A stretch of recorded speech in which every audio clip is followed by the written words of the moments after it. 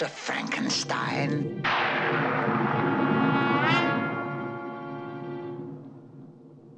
Fronkensteen. You're putting me on. No, it's pronounced Fronkensteen. Do you also say Froderick? No, Frederick. Well, why isn't it Froderick Fronkensteen? It isn't. It's Frederick Fronkensteen. I see.